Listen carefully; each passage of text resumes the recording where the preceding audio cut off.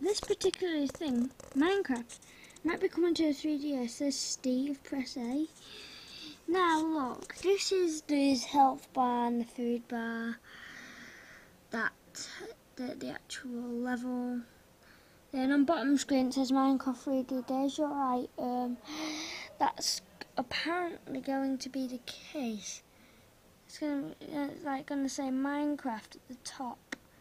It's gonna have a picture of creeper and a skeleton. It's obviously gonna say 3DS. I like the way how the logo is. Um, so my mum's talking in the background. Um, if I can do something, I can see it says Minecraft 3D, and on the bottom screen it says Minecraft 3D. So I'll be right back.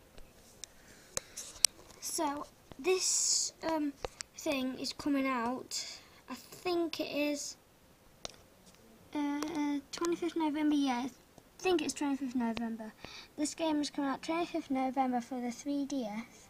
Yes, what I say is yes, 3DS. So that's it. Goodbye, guys.